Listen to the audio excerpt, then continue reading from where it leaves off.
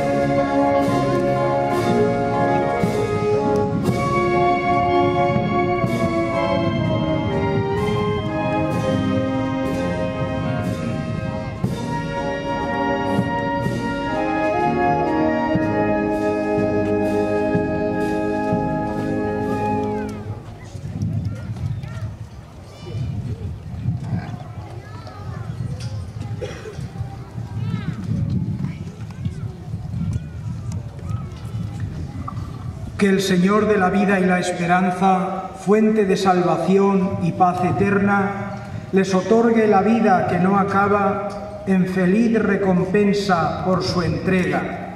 Que así sea.